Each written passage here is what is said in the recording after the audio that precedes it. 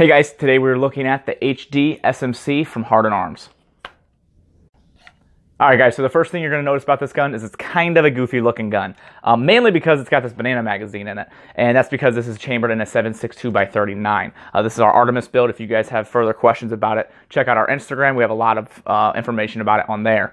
Um, but what we're focusing on is the compensator here.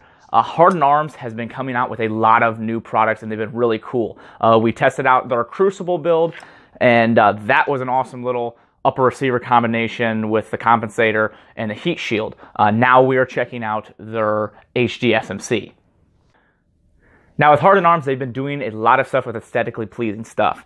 Uh, their Crucible, very sharp looking. This, really clean looking. Uh, when you look at it, it's just something that you really um, are drawn towards, and it's different. That's what I like about it too. Is it's a different look, and uh, they're getting away from the norm from what other people are doing, and they're trying new things. Um, this compensator can come as a whole, like this is. This is a, a whole assembly from Hardened Arms upper um, barrel, rail, compensator, or you can get it separately. You can get this yourself and just have the comp and then build around it. Um, me personally, I think the rails really complement this compensator the way this one does. As you can see, we'll do a little bit closer video here later about it after we uh, shoot it some, but uh, it's just really complements this compensator the way this rail goes and the angle it ends and this comes out. Um, this is not something that you're going to want to go with that has a rail that ends shorter than your barrel. You're going to want your barrel and rail to be opposite lengths. You want your rail to be longer than the barrel for this because this compensator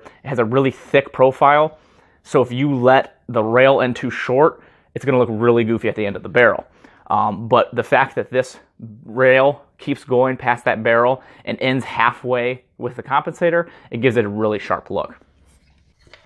Let's go ahead and take a closer look of this compensator here. As you can see here with the rail, the way it is cut, it really just matches the look of the HDSMC so well. So that's why I say that building this with a rail from Hardened Arms would be the best bet to go because it really matches this uh, compensator so well.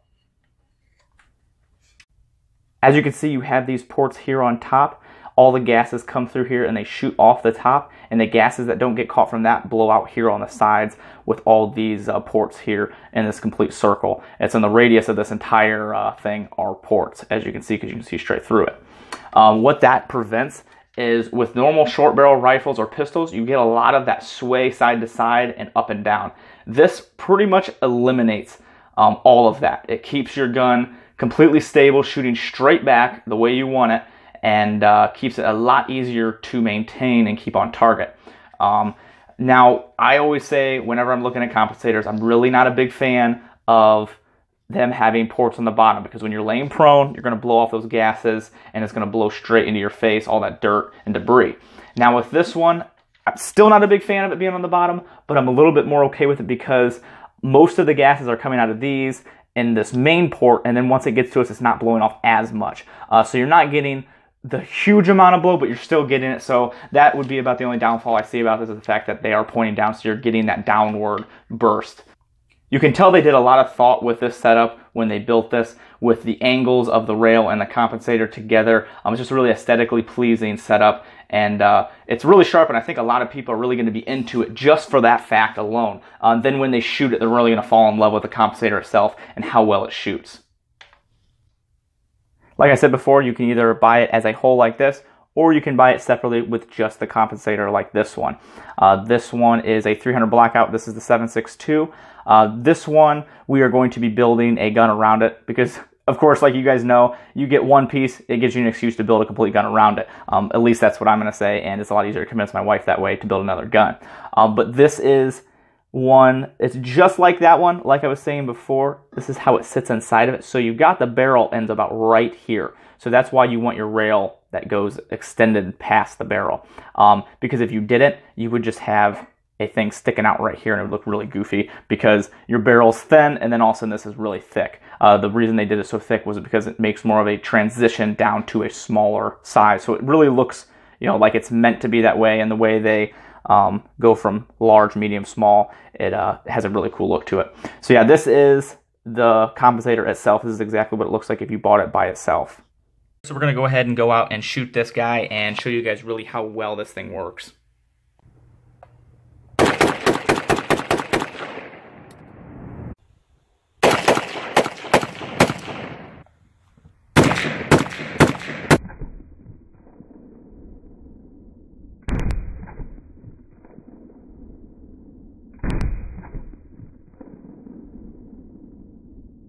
Is something you guys would be interested in, make sure you guys check out Hardened Arms. If you want this as a whole or just the compensator, you can get that there on their website. They also have a ton of other products there. If you guys aren't really fancy about this, you guys can get the Crucible or a lot of other setups they have. They have a lot of different rails and uh, products. So check out their website. It'll be in the description.